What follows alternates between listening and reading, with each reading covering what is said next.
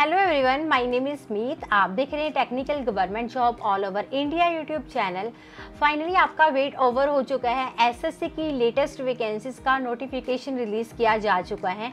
India में किसी भी सिटी या स्टेट से आप बिलोंग करते हैं, आप अप्लाई कर सकते हैं. आप किसी भी क्वालिफिकेशन बैकग्राउंड से है आप एलिजिबल रहते हैं अप्लाई कर सकते हैं। इंपॉर्टेंट बात मेल एंड फीमेल दोनों एलिजिबल है दोनों अप्लाई कर सकते हैं। सो so, किस तरीके से अप्लाई करना है क्या क्या प्रोसीजर रहने वाला है नंबर ऑफ़ वैकेंसीज कितनी है कब से कब तक अप्लाई कर सकते हैं। सारा ब्रीफ में डिस्कस करेंगे वीडियो को कंप्लीट ज़रूर देखना। अगर आप चाहते हैं इसी तरह से हर एक अपडेट आप तक टाइमली पहुँच जाए तो जल्दी से चैनल को सब्सक्राइब करके बेल आइकन को प्रेस करके ऑल पे क्लिक कर लेना ताकि हर एक अपडेट आप तक टाइमली पहुँच जाए। बाकी इस रिक्रूटमेंट के अलावा काफ़ी सारे नए डिपार्टमेंट है जिनकी वैकेंसीज आ चुकी हैं। हमारी ऑफिशियल साइट का लिंक आपको डिस्क्रिप्शन में मिल जाएगा। विज़िट करके आप इसके अलावा जो वैकेंसीज आई हुई है, अपनी लोकेशन के अकॉर्डिंगली चेक करके अप्लाई कर सकते हैं। चलिए, ज़्यादा टाइम ना लेते हुए डायरेक्टली बात करेंगे एसएससी की आई हुई लेटेस्ट वैकेंसीज के बारे में। सबसे पहले वीडियो को एक प्यारा सा लाइक कर दीजिए। आपका एक लाइक मोटिवेट करता है आपके लिए नए नए अपडेट लेकर आने का। तो एसएससी की जो वैकेंसीज है, इसके लिए अप्लाई किस तरह से करना है? इसमें सबसे पहले आपका जो स्टेप रहेगा, आपको रजिस्ट्रेशन करनी है। लिंक मैंने आपको डिस्क्रिप्शन में दिया हुआ है।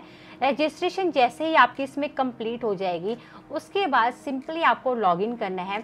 लॉगिन करके आप अप्लाई कर सकते हैं जिसमें आपको अपना कैंडिडेट नेम लिखना है क्वालिफिकेशन कब आपने पास आउट किया फादर नेम किया है email ID and other required information आपको फिल करके जस्ट आपको सबमिट कर देना है। नेक्स्ट इसके लिए अगर हम बात करें आपकी सैलरी क्या रहने वाली है तो हमेशा की तरह जैसे लास्ट टाइम सैलरी थी इस बार भी सेम सैलरी आपकी है 21,700 से 69,100 आपकी पर मंथ सैलरी रहने वाली है। स्टाफ सिलेक्शन कमीशन की आपको पता है, जब भी वैकेंसीज आती हैं इंडिया में किसी भी सिटी या स्टेट से बिलोंग करते हैं, आप एलिजिबल रहते हैं और अप्लाई कर सकते हैं और इसमें जॉब लोकेशन की अगर हम बात करें, वो भी आपकी अक्रॉस इंडिया ही रहती है। नेक्स्ट अगर हम बात करें नंबर ऑफ़ वैकेंसीज़ की तो टोटल जो वैकेंसीज आउट की गई है 25,271 वैकेंसीज आउट की गई हैं। जिसमें अगर मेल कैंडिडेट की बात करें तो उनके लिए 22,424 वैकेंसीज आउट की गई हैं। इसके अलावा फीमेल कैंडिडेट की अगर हम बात करें 2,847 वैकेंसीज आउट की गई हैं। और इसके अलावा अगर हम बात करें डिपार्टमेंट वाइज वैकेंसीज की आपको पता है एसएससी की जो वैकेंसीज होती हैं अलग अलग डिपार्टमेंट में इसकी हायरिंग होती है। जिसमें अगर मैं मेल कैंडिडेट की बात करूँ तो इसमें बीएसएफ के लिए आपकी 6,413 वैकेंसीज आउट की गई हैं। एसएसपी के लिए 3,806 वैकेंसीज है। सी आई एस एफ़ के लिए 7,610 वैकेंसीज है। ए आर के लिए 3,185 वैकेंसीज आउट हुई है। एसएसएफ के लिए 194 है। इसके अलावा आईटीबीपी के लिए 1216 वैकेंसीज है। इसको मिलाकर जो मेल कैंडिडेट की वैकेंसीज हो जाती है 22,424 वैकेंसीज आपकी हो जाती है। नेक्स्ट अगर फीमेल कैंडिडेट की बात करें तो फीमेल के लिए बीएसएफ कैटेगरी की अगर हम बात करें 1,132 वैकेंसीज है। सीआईएसएफ की बात करें 854 वैकेंसीज है। एआर के लिए 600 वैकेंसीज है। एसएसएफ के लिए 46 है आईटीबीपी के लिए 215 वैकेंसीज है। और वैकेंसीज का अगर देखा जाए, बहुत टाइप की वैकेंसीज इन्होंने आउट की हुई है। और सबसे इंपॉर्टेंट बात यही रहती है कि आपकी जो क्वालिफिकेशन है मिनिमम टेंथ पास है आप एलिजिबल हैं अप्लाई कर सकते हैं। इवन ट्वेल्थ पास या ग्रेजुएट अप्लाई करना चाहते हैं, वो भी इन वैकेंसीज के लिए अप्लाई कर सकते हैं। नेक्स्ट जो प्रोसीजर है, आपका सिलेक्शन किस बेसिस पे होने वाली है? इसमें आपकी जो सिलेक्शन होने वाली है, पहले आपका रिटर्न एग्ज़ाम होगा।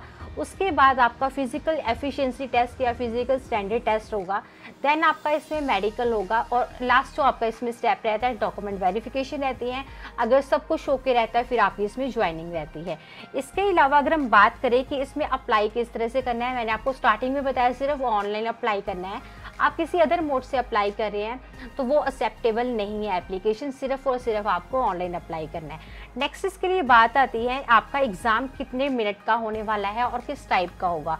तो इसमें आपको 90 मिनट्स दिए जाएँगे, जिसमें आपके जनरल इंटेलिजेंस से रिलेटेड 25 क्वेश्चंस रहेंगे 25 मार्क्स के। इसके अलावा रीजनिंग के रहेंगे 25 क्वेश्चंस 25 मार्क्स के रहेंगे। जनरल नॉलेज के आपके रहेंगे 25 क्वेश्चन 25 मार्क्स के रहेंगे। इसके अलावा मैथ्स के भी ज़रूर रहेंगे 25 क्वेश्चन 25 मार्क्स के। मैथ्स जो है आपका रेलवे ग्रुप डी का जो एग्ज़ाम हुआ था मोस्टली सिलेबस सेम है। अगर आपने ग्रुप डी का एग्ज़ाम दिया था, जो कि टेंथ बेसिस पे था तो ये सिलेबस बिल्कुल आपका सेम रहेगा। उसके अकॉर्डिंगली आपको प्रेपरेशन करनी है। इसके अलावा आपका इंग्लिश एंड हिंदी का रहेगा। 25 क्वेश्चन 25 मार्क्स के रहेंगे। टोटल जो आपके बन जाते हैं 100 क्वेश्चंस आपके 100 मार्क्स इसमें रहने वाले हैं, जिसमें आपको डेढ़ घंटे का टाइम भी इसमें दिया जा रहा है।